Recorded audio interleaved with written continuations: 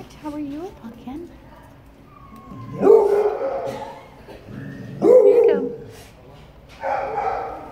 Good job. Look how beautiful you are.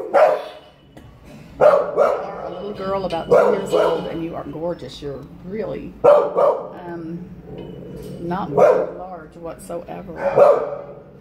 Really nice, medium-sized baby. Yes, you are.